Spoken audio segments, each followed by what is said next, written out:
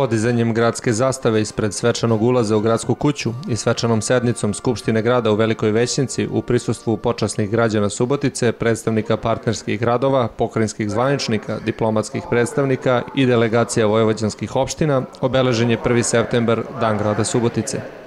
Gradonačelnik Saša Vučinić je u svom govoru još jednom istakao proslavljanje različitosti našeg grada i iskoristio priliku da u poslednjoj godini mandata ove gradske vlasti podsjeti na njene uspehe, odnosno deo onoga što je u gradu urađeno.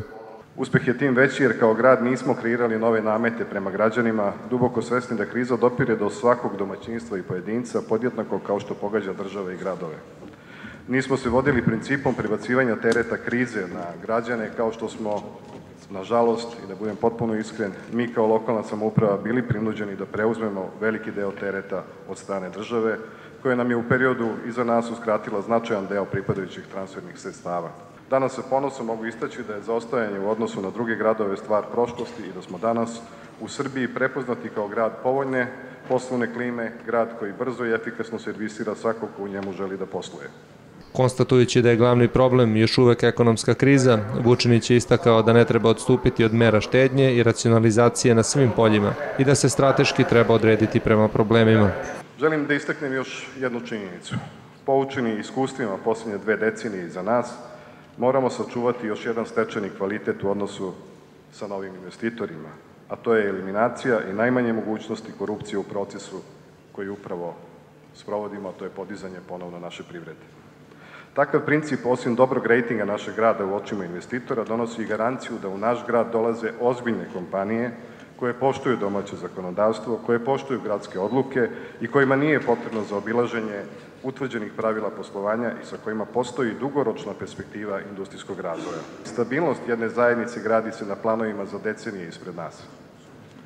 Siguran sam da će građani razumeti da je najjeftinije i najefikasnije upravo dugoročno ulaganje u razvoj zajednice, a ne demagoško rasipanje novca. Vođeni dugoročnim planovima u protekloj godini uložili smo veliku energiju i sredstva u razvoj sobstvenih kapaciteta kao preduslova za još bolje partnerstvo sa drugim nivoima vlasti i inostranim partnerima.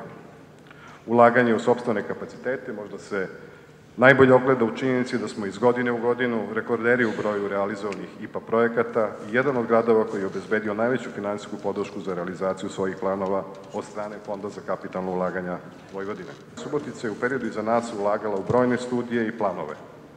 Danas sa zadovoljstvom mogu da kažem da radimo u skladu sa donošenim planovima i zaključcima studija i da u stvarnosti demantujemo sve one čiji su strateški planovi i vizija budućnosti limitirani očekivanim datumom narednih izbora. Odlučili smo da Subotica gradi budućnost, a ne partijske i lične spomenike i to će biti princip od kojeg nećemo odustajati. Nećemo više nikada dopustiti da dobre ideje i planovi čekaju po nekoliko decenija da ih neko realizuje. Najbolji primer je današnja svečanost otvaranja dela unutrašnjeg magistralnog prstana u ulicama 51. divizije partizanskih baza. Tokom svečane sednice dodeljena su priznanja grada istaknutim subotičanima, a dobitnici zvanja počasnog građanina su književnik Oto Tolnej i profesor dr. Stevan Vasiljev. Dobitnici priznanja Pro Urbe su Marija Šilak, predsednica udruženja Vox Humana, Vladimir Večić, predsednik Subnora, Mirko Grlica, istoričar, Tomislav Žigmanov, pisac i preduzeće Siemens. Tokom svečane sednice potpisan je sporazum o saradnji Subotice i mađarskog grada Erda. Današnje svečanosti započete su obilaskom osnovne škole 10. oktobar, u kojoj se prvi put otvaraju bilingvalna odeljenja, a bit će završene održavanjem koncerta Kati Wolf i Željka Joksimovića večeras na Trgu Slobode. Javno preduzeće Subotica Trans obezbedilo je besplatan prevoz na večerašnji koncert svim građanima prigradskih naselja.